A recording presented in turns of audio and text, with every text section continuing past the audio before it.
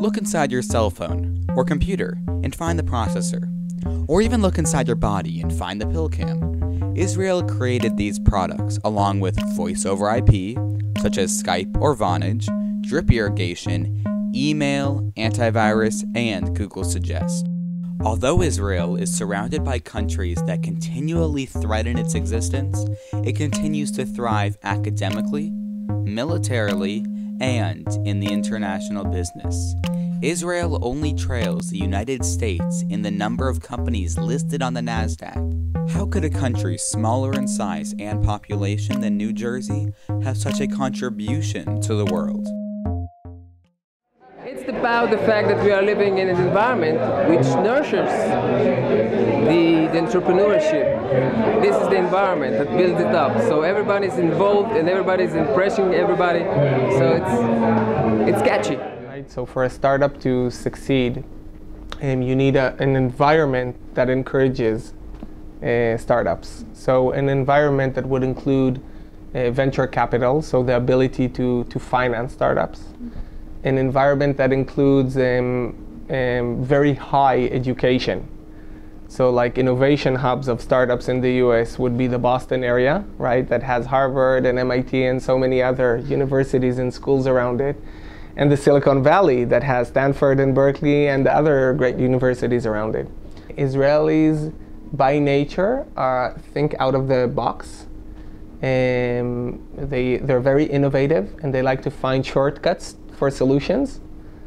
Sometimes they lack uh, strategic thinking and thinking for the long term, um, but they definitely have a mindset that is uh, a high fit with what we see in startups.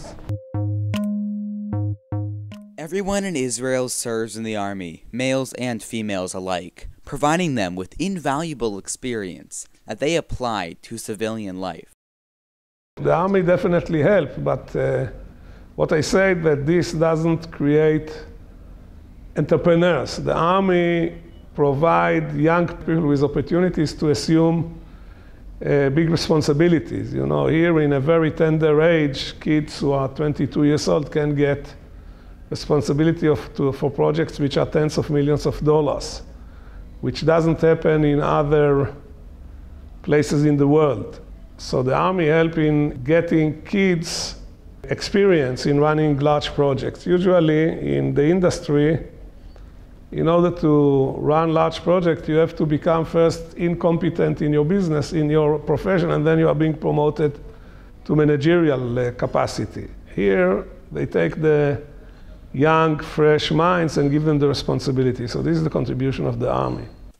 In the book The Outliers, Malcolm Gladwell states that one needs to spend 10,000 hours to master a subject, whether it is tennis, business, or high tech. What you find is that the Israeli army is an opportunity to get 10,000 hours uh, of being an expert in many different fields, uh, including leadership, including technology innovation, including managing technology. And that's why many people that finish the military service at a comparatively young age of 21, right, 20, 21, they've already gained that very significant experience in mastering a, a specific uh, field and area of expertise. So I think maybe that can help you make the connection between the military service and uh, uh, doing well on the business entrepreneurial field. Good academics and a strong army may be a result of Israel's Jewish culture. Founded in 1948, Israel had to build up its economy from virtually nothing.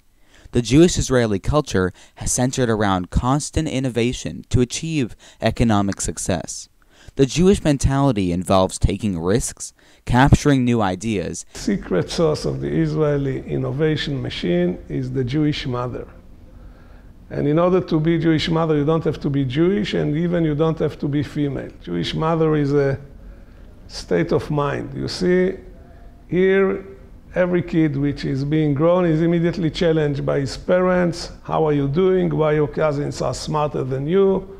Why you are not accomplishing? You have to learn, you have to study. He's being pushed, pushed, pushed, like I guess happened to, to you, and I think this is the reason. Innovation is not a technical phenomena, it's a cultural. I think that the Israeli culture really promotes innovation and creativity. On the other hand, we are not very disciplined. And by being not disciplined, we do some shortcuts and we run faster. Uh, this enables us to do much uh, more things and in a different way than others. It doesn't mean that the others are bad, it means that we are better. Uh, Israelis come with this uh, chutzpah that uh, if somebody said this is how things should be done, they have a notion of doing things in a better way. And that's what you're looking for in entrepreneurs. You're looking for entrepreneurs to try and change the world, to come and uh, think that they can do things in a better way. And sometimes with the right combination of talent and timing and education and some experience and attitude, they manage to do that.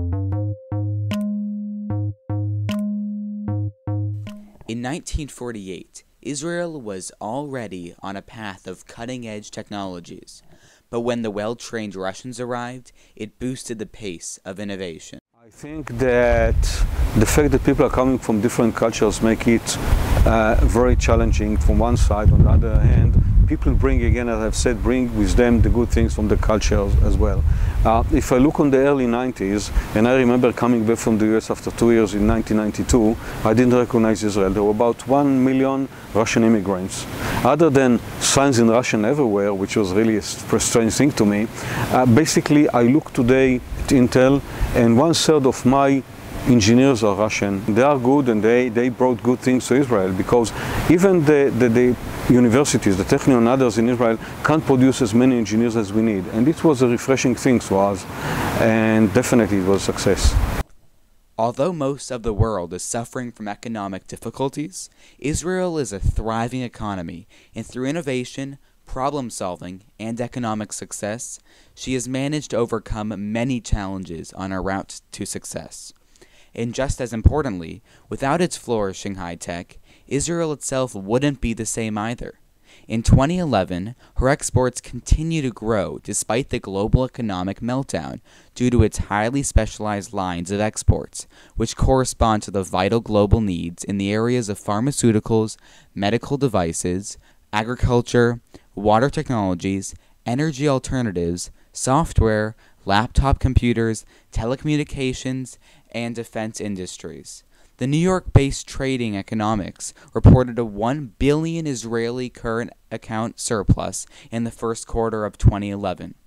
It is clear that without Israelis' contributions, the modern world would not be the same today.